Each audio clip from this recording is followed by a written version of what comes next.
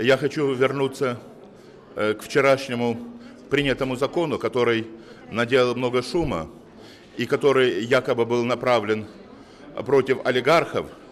Речь идет о законопроекте, согласно которому теперь при голосовании э, в акционерных обществах изменен кворум, и если это раньше было 60% э, плюс один голос, то теперь достаточно 51% плюс один голос.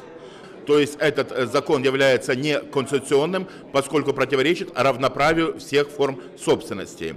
Если говорить по существу, э, то такая форма закона, когда он вступает в силу не одновременно для государственных, условно, акционерных обществ и для негосударственных, это знак бизнесу о том, что государство себя собирается защищать в большей степени, чем остальные формы собственности, что закон этот изначально действует только для тех акционерных обществ, где 50% плюс одна акция принадлежат государству, как раз на Укрнафту не распространяется, поскольку Укрнафта формально не является государственным предприятием, это самостоятельный хозяйствующий субъект.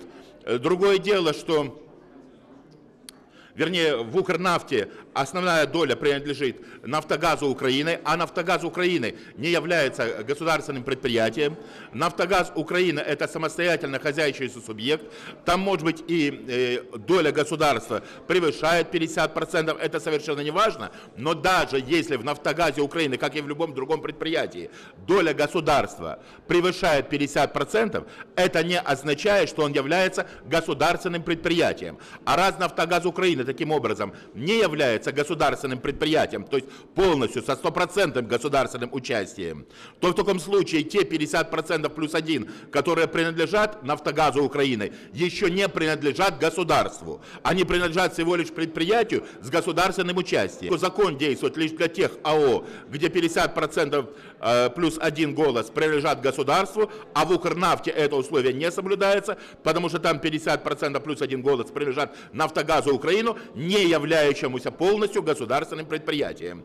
Нужно вводить законы, равноправные для всех форм собственности, а не так, что государственным в первую очередь, а остальным как получится. В результате оказалось наказанным само предприятие Укрнафта, потому что и на него этот закон тоже не распространяется.